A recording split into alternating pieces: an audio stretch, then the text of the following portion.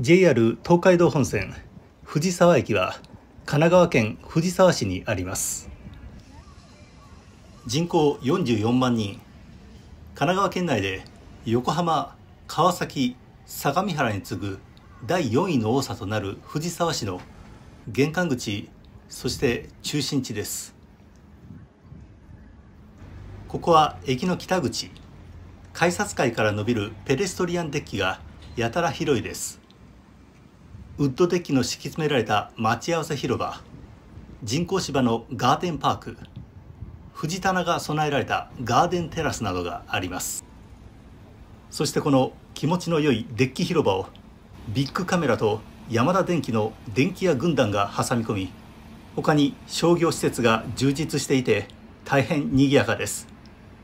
芝生広場で足を組んで寝ていた人気持ちよさそうでしたね。藤沢の地名の由来はやはり藤の木がたくさん茂る沢から来ているそうです。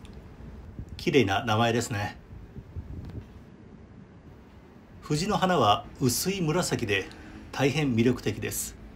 この藤棚も5月頃の見頃の時期は綺麗でしょうね。阪神野田駅の藤棚をちょうど開花している時期に見たことがありますが綺麗かったですね。うん。柳通りにはその名の通り柳が植えられています。宿場町として栄えた頃の名残を残しています。サンパール広場の下はバス停となってますね。藤沢はもともと次州の総本山である遊行寺という寺の門前町でした。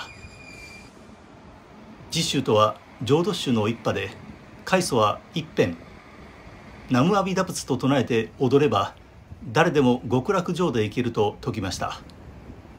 一辺なだけに一辺言うてみいや一遍踊ってみいやとでも言ったんでしょうかね。その手軽さが受けて鎌倉時代に民衆の間で爆発的に広まりました。江戸時代には藤沢宿が整備されました。日本橋を起点とする東海道53次の6番目の宿場。つまり品川宿川崎宿神奈川宿保土ヶ谷宿戸塚宿の次の宿場が藤沢でした。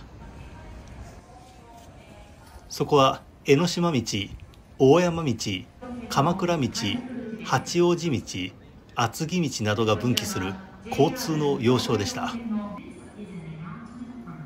江戸中期には一般の人々が江ノ島参りなどを行う旅行が盛んとなり藤沢宿も大変栄えました。幕末には70軒以上の旅籠があったと言われています。江ノ島道の入り口には江ノ島の一の鳥居が建てられていました。南北自由連絡通路を通り南口へ出ました。こちらもペデストリアンデッキが伸びています。いいですね。正面には江ノ電藤沢駅の入る小田急湘南ゲートビルが見えます。この通路を伝って段差なく乗り換えができます。東海道の藤沢宿から江ノ島道が分岐していたように現在では JR 東海道線の藤沢駅から江ノ電が江ノ島方面へ伸びています。そして小田急も相模大野から伸びてきた路線が当駅でスイッチバックを行い江ノ島へ向かっています。まあそういえば関西でも能勢街道には現在能勢電鉄が有馬街道には現在神戸電鉄有馬線が通っているように昔の街道沿いには鉄道が通っていることが多いです。それにしても藤沢都会ですね。ショッピングモールが立ち並び飲み屋街も立派なものでかなりの繁華街です。江ノ電バスも元気ですね。藤沢市のマスコットキャラクターは川蝉くんでしたが2015年に新たなキャラクター富士キュンが登場します。富士キュンは本名藤沢キュン。沢が抜けただけですね。藤沢の波から生まれ頭には江ノ島灯台を載せています。他に選挙投票率向上キャンペーンの時だけ登場するひょうのひょうたやバザーの時に現れるふーちゃんもいます。キャラクター多いですね藤沢市。地下道は最近リニューアルされ明るく綺麗でおしゃれな空間となっています。駅の南北を連絡するのは2階の自由通路と地下道の2通りの方法があります。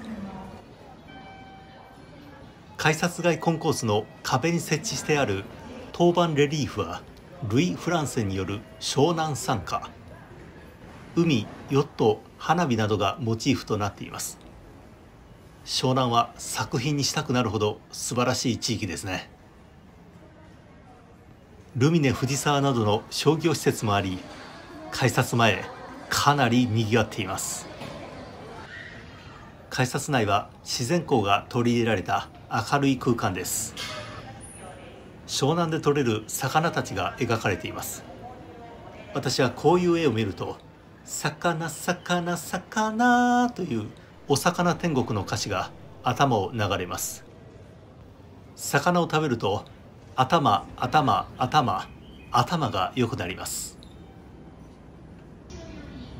ホームは2面4線ですが東海道貨物線上にある1番2番ホームは特急湘南専用ホームとなるため湘南運行時間帯以外は閉鎖されています。東京駅発着系統と新宿駅経由で大宮から高崎線に直通する湘南新宿ラインと東京駅経由で上野から宇都宮線高崎線に直通する上野東京ラインが停車します。